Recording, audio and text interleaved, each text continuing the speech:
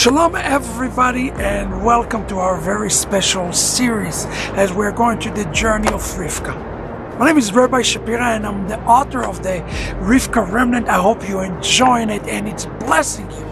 But the purpose beyond this series is to give you a few pinpoints that you yourself can go through this journey yourself together with others in great success and fulfill your role for the last days. We're looking through our specific attributes that Rivka must have in order to have this successful and great journey. Now, please pay attention to the shiur, to the lesson today. I want to focus on the end of the journey of Rivka as she right about to reach to Isaac something very special happening as Rivka is falling off the camel. The question in the back of our mind should be, why did Rivka fell off the, the, the camel? And listen to what I wrote in page 141. In Genesis Rabbah, our rabbis ask, what is the meaning of a camel? There's a sign of purity and defilement within it. Similarly, Rivka gave birth to two sons, a righteous son and a wicked son. This is the meaning of the scripture. She fell off the camel, meaning, listen. She desired only for cleanliness to be within her. Let us understand that their devotion and fear of God were so great that she made Esau a bearer of the souls of the righteous which are the converts in the future, Esau destined to be purified. As our rabbi says, the pig represent Esau is destined to be purified.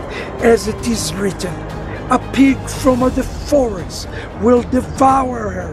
And it is also written, all savor will climb to Mount, the Mount Zion to judge the Mount of Esau, and the kingdom shall be God's. Moreover, our sages said that the kingdom of Rome is destined to build the temple in its proper place. Let us understand. Are you kidding me? She felt off because she already know. Remember, Rivka, she is a prophetess. She's sitting in the prophetic. She fell because she wanted to repair her unborn son in the future. It's a way for her to call upon God and said, I want to fix the problem that is going to be within me so that there will be a complete tikkun. And the rabbis understood from that that in the future there will be a remnant from Esau. Just as it says here in page 144 41 that Esau will bear a souls of the righteous. And you ask yourself the question, what? Esau? Esau the wicked? He is the one who is going to bear the souls of the righteous. And this is the job of Rivka today. Brothers and sisters, your job today is not to go against the church and to rebuke the church and, and just become angry and negative toward your Christian friends, brothers, sisters, husbands, and wives.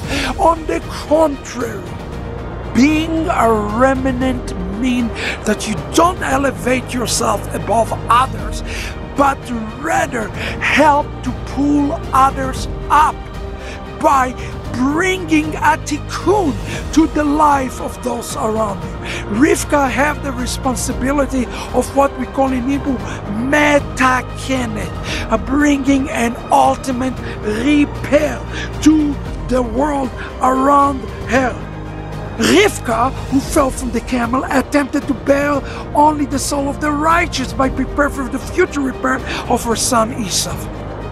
Brothers and sisters, today we need to understand that the church is not our enemy, neither Christianity. Your job is to be part of the tikkun, not part of the problem. So today, as part of the remnant, let us be part of the solution not part of the problem in bringing the repair to as many remnants from Esav of Christianity. God bless you. Shalom, everybody.